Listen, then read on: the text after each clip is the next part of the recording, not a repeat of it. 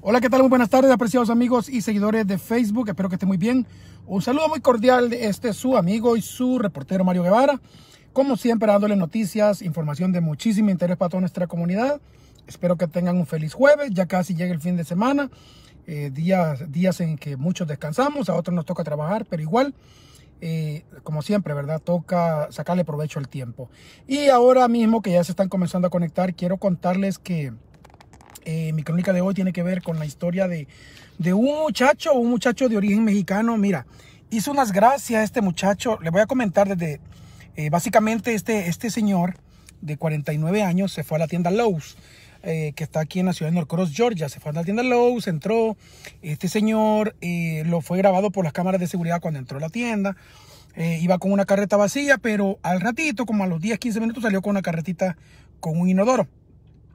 Y salió, eh, según dice la policía, se hizo por ahí el de los panes, el loco ahí en, eh, cerca de la salida. Cuando vio que todos los, empleados estaban descuidados, se salió con el inodoro sin pagarlo.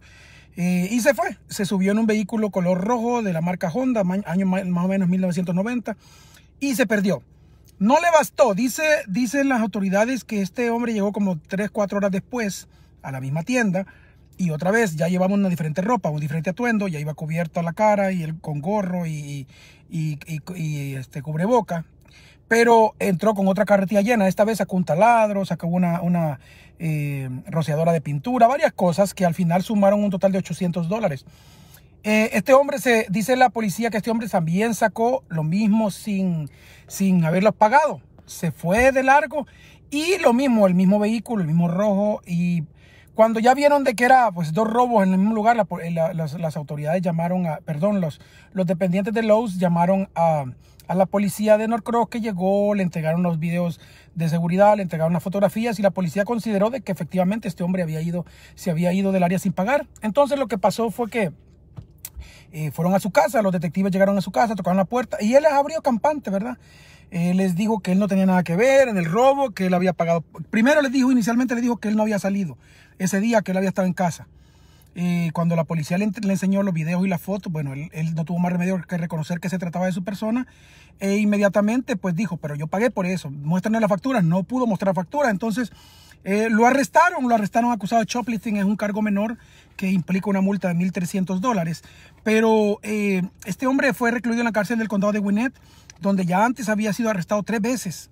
Tres veces lo habían arrestado por eh, infracciones de tránsito, por otro tipo de, de, cometer otro tipo de, de, violaciones a la ley. Así es que a José, me, José Villalta Domínguez eh, ya está libre otra vez, pero ya en Lowe's por lo menos, ya lo tienen bien fichadito un mercadito y le dijeron que no lo quieren volver a ver ahí.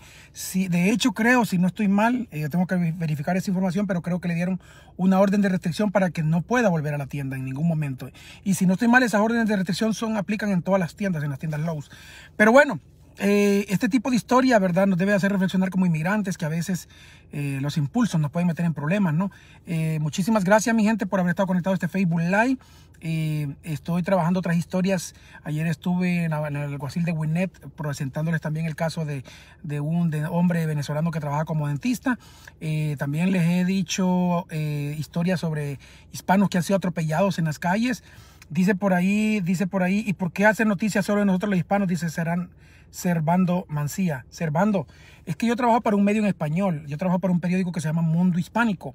Entonces, si nosotros, si fuera un medio eh, en mandarín, pues nuestra comunidad fuera la asiática, fuera lo, que es los chinos, ¿verdad? Por ejemplo, así, los coreanos, toda esa gente asiática, si nuestro lenguaje fuera el mandarín, pero como nosotros es un medio en español, va nuestra comunidad hispana. Entonces, por ende, nuestras noticias son relacionadas con hispanos. A algunos les gusta, a otros no, pero así es.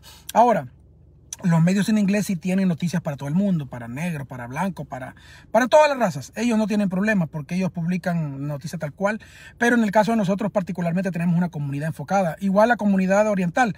Yo, conocí, yo he visto medios eh, asiáticos eh, que van dirigidos a su gente. Saludos desde Los Ángeles, dice Armando. Saludos Armando, un placer.